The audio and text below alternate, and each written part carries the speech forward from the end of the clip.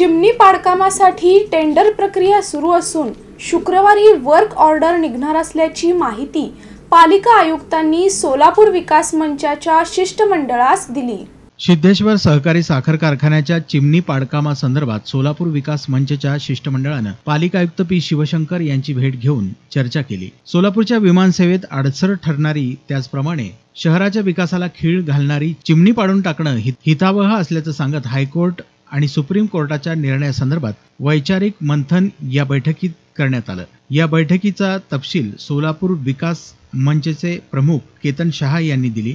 पाडकामाची work order संबंधित ठेकेदार कंपनीला शुक्रवारी देण्यात येणार असल्याचं पालिका आयुक्तांनी सांगितलं आहे असंही केतन शहा यावेळी बोलताना म्हणाले.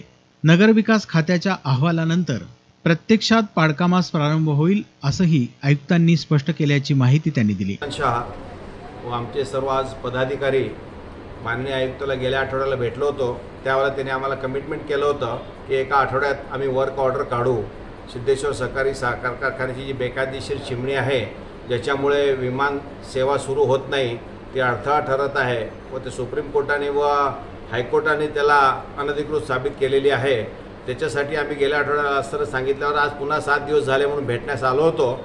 तर आयुक्त साहेबांनी आम्हाला असं सांगितलं जो कॉन्ट्रॅक्टर बेंगलोरचा आहे त्याला तेवीस तारखेला बोललो होतं पण तो आलेला नाही आहे निगोशिएशनसाठी तो उद्या येत आहे. उद्या आम्ही वर्क ऑर्डर त्यांना देऊ व चिमणी पाडकामाचं त्यांना आम्ही ऑर्डर देणार आहोत.